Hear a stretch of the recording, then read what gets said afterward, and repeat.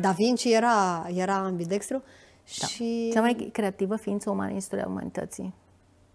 și a reușit să facă lucruri pe care nu le egalăm până în ziua de azi.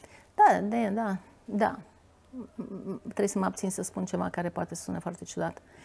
Um, noi toți avem abilitatea să ne conectăm la ce s-a conectat el pentru a găsi eh, lucruri pe care nici nu le, măcar nu le puteam gândi, pentru că nu, s-a putut, nu le-a putut gândi elicoptere, uh-huh. submarine și astea, cumva i s-au s-a conectat la Transmis ele. de undeva? S-au conectat cu ele. În mintea non-conștientă, mintea noastră non-conștientă e conectată la non-conștientul colectiv, unde e toată cunoașterea.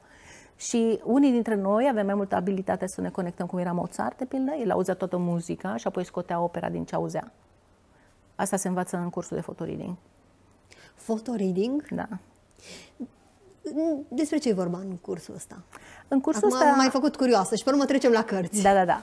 În cursul ăsta este vorba despre faptul că noi avem niște abilități extraordinare de care nu știm și nu le folosim pentru că nu știm. Nimeni nu ni le spune pentru că nici ei nu știu, așa că se perpetuează o ignoranță majoră. Noi fotografiem mental absolut tot ce se- este în jurul nostru de când ne naștem.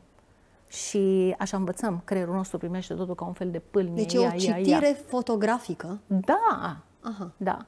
Și când ne ducem la școală această pâlnie inversată și încep cuvânt cu cuvânt cu cuvânt, încep să rostești, să faci propoziții, să faci fraze și ajungi să te simți foarte inadequate, foarte ne- nepotrivit, foarte... Ar trebui să fie altfel?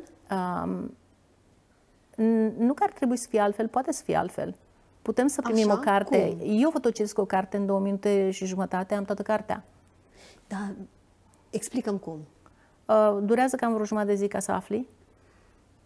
Dar poți să arăt cum se face? Da, Dar asta îți ia jumătate de zi ca să, să, să înveți ce se întâmplă când faci asta. dar nu ajunge să te văd pe tine. Uite, acum fotocitesc. Dar tu poți să vezi vreun cuvânt de acolo? Ca să poți să fotocitești, nu te uiți la cuvinte. Dar la ce?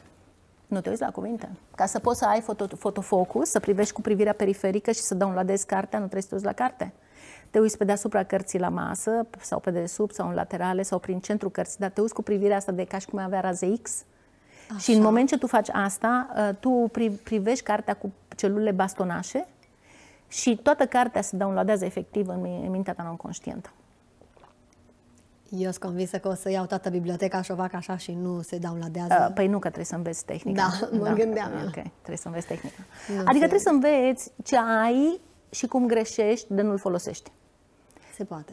Și da. când afli că le, e, e, cineva a spus că în capul nostru e cel mai performant computer din univers, doar că nu avem manualul de utilizare la el.